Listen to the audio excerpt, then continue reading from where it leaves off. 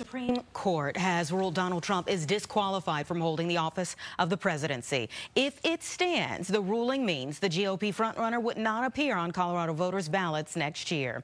Attorney Burt Odelson is here to help break down this big news. Good morning. Thanks so much for being here.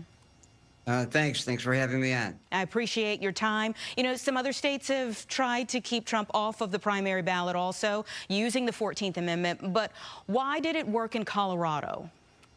Well, it barely worked in Colorado. It was a four to three decision of the uh, uh, Colorado Supreme Court with three justices uh, dis dissenting. Uh, it didn't work in Minnesota, and it is being tried in uh, other states. It may be tried in Illinois after the uh, presidential electors file the early part of January.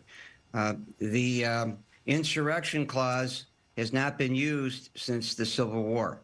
So it's, uh, it's uh, an old law uh, not tested since the 1860s. Uh, so let me ask you this. Do you think that this will stand with the U.S. Supreme Court, or will you think that this uh, changes things for other states that are trying to maybe uh, make the same decisions?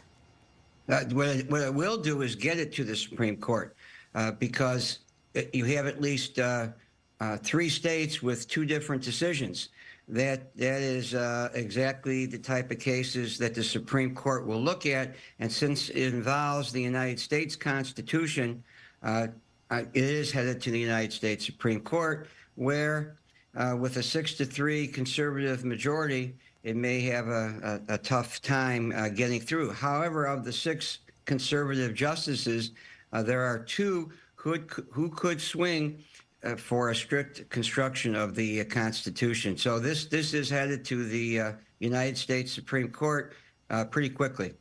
Well, do you think that people will still be able to do a write-in candidate of Donald Trump, or uh, does this effectively take that even out of the picture? Uh, good question.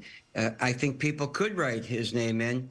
Uh, if he uh, applies to be a write-in in those states where he is put off the ballot if he is elected by way of a write-in, I think he then can be tested as to whether uh, he could serve in office uh, with this type of uh, uh legal ruling uh, hanging over his head.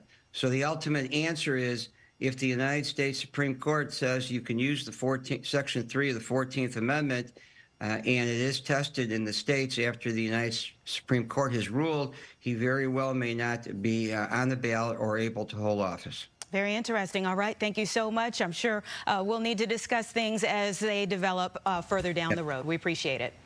Yep. No problem.